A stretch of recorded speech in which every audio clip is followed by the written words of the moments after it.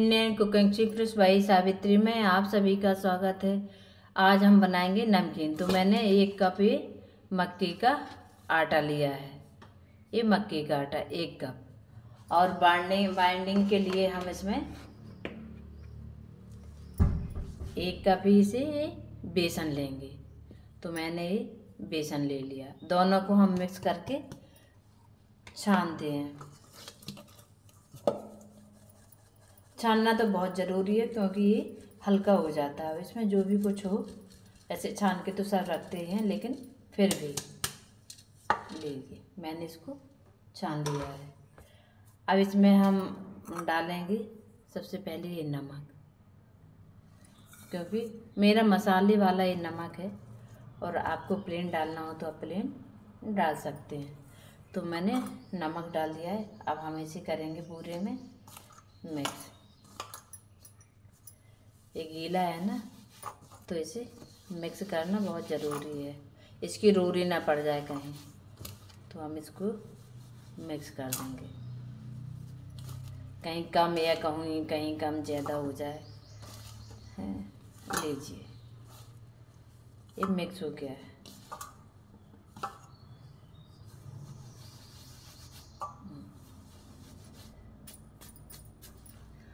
अब इसमें हम डालेंगे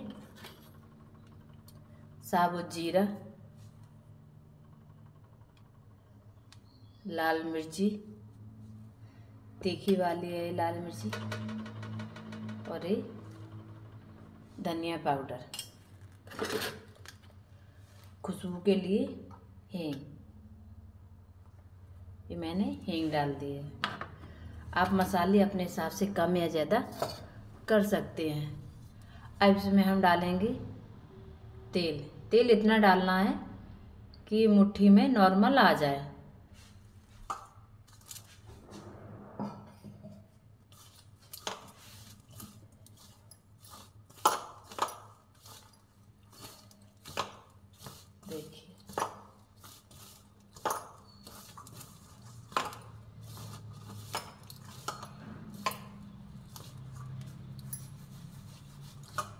पूरा ऐसे ही करना है। और नमक टेस्ट कर लें।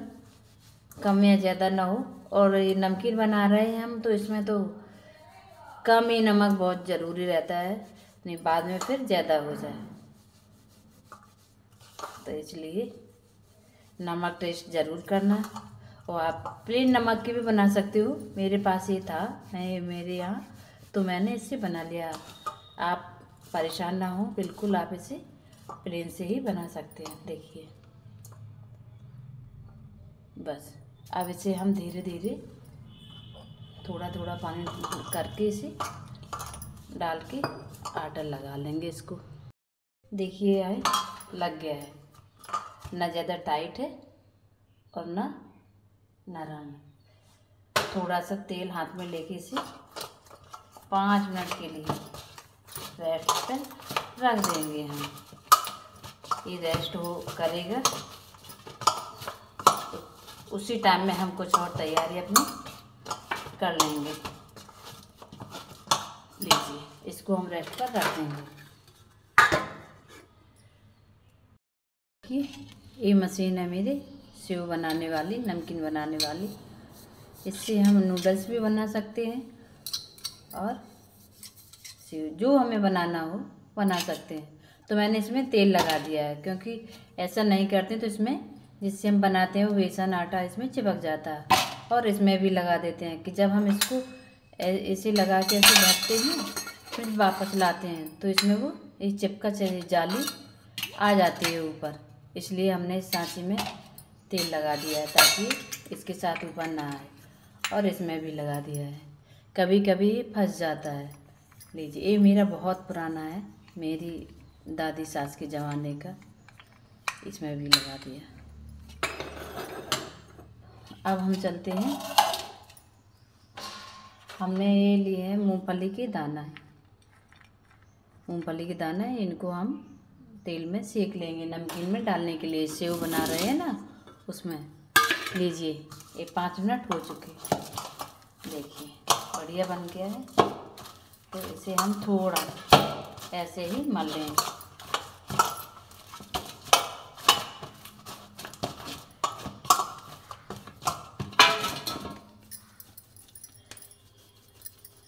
इसकी हम बनाएँगे दो लोइयाँ। देखिए, ऐसा करेंगे, क्योंकि उसमें भरना है मशीन में तो लीजिए, इसको हम ऐसे भर देंगे। ठीक है, इतना खाली रखा है। फिर हम आपको ये दोबारा फिर दिखाएँगे, इसको हम ढक देंगे। अब हम चलते हैं गैस की ओर। देखिए, मैंने गैस पर कढ़ाई रख दी, तेल भी डाल दिया हुआ तेल। गरम हो गया है। इसमें हम डालेंगे मूंगफली की कुछ दाने। ज़्यादा हाई कर लेंगे तो ये भुनने में अंदर से तो कच्चे रहेंगे, पर ऊपर से जल्दी से भुन जाएँगे या जल जाएँगे, आप जो भी समझें। इसलिए इन्हें मीडियम टू हाई फ्लेम पर ही करना है। देखिए, आवाज़ आने लगी मूंगफली के दानों की? ये से भुन रही है? इनको हम ऐसे ही देखिए निकाल लेंगे गैस की फ्लेम को एकदम से स्लो कर दिया मैंने, ताकि अच्छी सी सिक जाए इस तेल में और कच्चे ना रहें। नहीं तो फिर जब हम लोग खाएँगे ना नमकीन को तो कच्चापन मूँगफली का आएगा मुँह में। अभी सिक चुके हैं, इनको हम निकाल लेते हैं।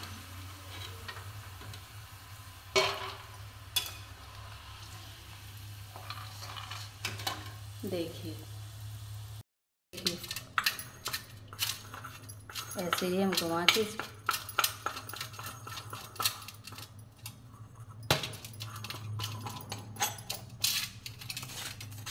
अब तो नए ज़माने कई तरह की आने लगी हैं। पहले ऐसे ही चलती थी तो मेरे पास वही है। देखिए, अभी पूरा नहीं हुआ था, इसलिए खुल गया। तभी तो मैंने आपको दिखाया। देख आपको दिखाने के लिए मैंने ये सब किया था। लीजिए। अभी हो गया है। और आपको हम दिखाएँगे। देखिए। अब हम चलते हैं कढ़ाई की ओर। लीजिए। ये बनने लगे हैं।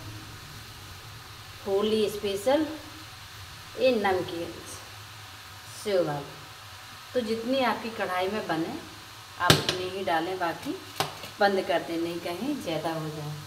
तो इसको हम ऐसे ही, जब तक ये ऊपर नहीं आएगी, तैर के, सिक के नीचे से, तब तक इसको हम छुएँगे नहीं, बिल्कुल भी टच नहीं करेंगे।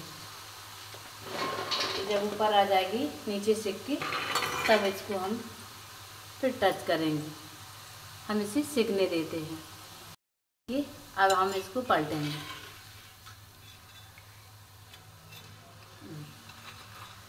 अब इसे बार बार इसे हिला देंगे ताकि ये खुल जाए। अब ये सिक चुकी है एक साइड से तो अभी मिक्स नहीं होगी कि एक एक तार एक साथ हो जाए। ऐसा नहीं होगा, ये अब अलग अलग हो जाएगी।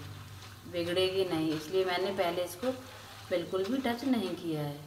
अब इसे हम धीमी आँच में ऐसे ही सेक लेते हैं। देखिए सीख चुकी है। अब इसको हम निकाल लेते आपको पास से दिखा देंगे।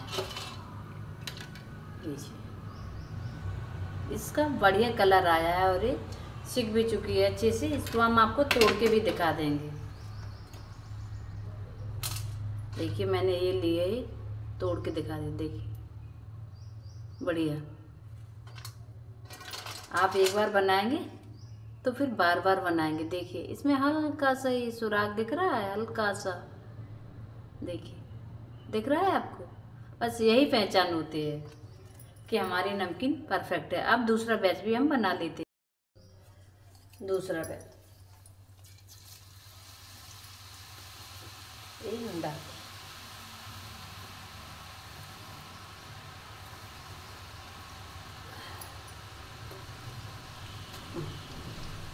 अब इसी तरह जैसे पहला बैच सीखा था, इसको ऐसे ही छोड़ देंगे, उसी तो सेम तरीके से सेकेंगे कोई अलग नहीं होगा। देखिए, ऊपर आ रही है धीरे धीरे। ऐसे जब नीचे से सिक के ये ऊपर आ जाएगी, तब इसको हम टच करेंगे। देखिए, ये मैंने पूरी सेक लिया देखिए, इसमें बिल्कुल भी ऑयल नहीं है। और ये महीनों महीनों चलने वाली, इसलिए मैंने इसे थोड़ा ज़्यादा सेका है। और खाने में इसे सौंधी सौंधी खुशबू आएगी। तो लीजिए देखिए, आवाज़ आ रही खन खन की।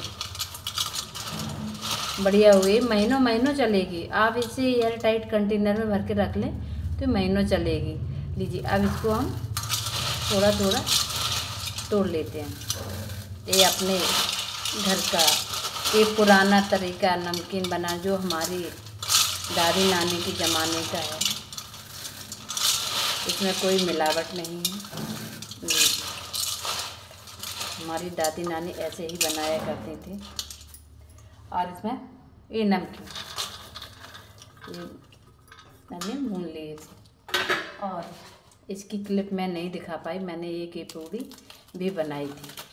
जिसकी सीव बनाए थे, उसी की ये पूड़ी, ताकि बीच में हल्का सा ये बीच बीच में ये पापड़ ऐसा मुँह में आ जाए खाना। आपको इसमें कुछ और डालना हो तो आप इसमें डाल सकते हैं। कितनी आवाज़ आ रही है। ये नमकीन बन के तैयार हो गई है। ये महीनों चलेगी। आपको मेरा वीडियो अच्छा लगा तो प्लीज़ लाइक ज़्यादा से ज़्यादा करें, शेयर भी करें और नए हों तो सब्सक्राइब कर लें। बेल आइकन ज़रूर दबाएँ। आप ऐसी नमकीन जब एक बार बनाएँगे ना, मक्की के आटे की मिक्स करके आपको अभी तक किसी ने नहीं बताई होगी। तो आप ऐसे एक बार ज़रूर बनाएँ। देखिए, ऐसे कितनी सॉफ्ट है। तुरंत ही टूट जाती है। क्रंचीनेस और सॉफ्टनेस दोनों ही चीज़ें हैं। देखिए, ये भी सॉफ्ट है, ऐसा नहीं है। देखिए, आवाज़ भी कर रही है। देखिए, आपको मेरा वीडियो अच्छा लगा हो तो प्लीज़ लाइक करें शेयर करें सब्सक्राइब करना ना भूलें। आप ऐसे नमकीन बनाएँगे। आपके बच्चे बूढ़े सभी खाएँगे। ये क्रंची है, पर सॉफ्ट है। किसी को कोई प्रॉब्लम नहीं होगी। फटाफट बन के तैयार हो गई है नमकीन। आप पूछ रहे हैं कैसे बनाएँ? तो हम चलते हैं आगे नमकीन बनाने के लिए महीनों महीनों चलने वाली।